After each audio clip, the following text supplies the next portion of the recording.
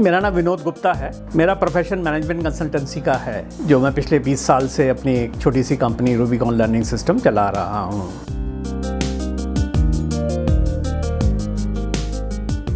अगर आप लोगों की हेल्प करते हैं तो बहुत सारे लोग आपकी हेल्प करने को आगे बढ़ के आएँगे।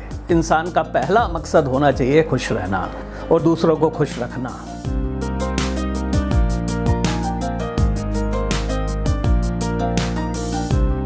अपनी देश की मिट्टी के साथ जुड़िए। हमारे जो देश के संस्कार हैं, उनको समझिए और सच्चे भारतीय बनने की कोशिश कीजिए।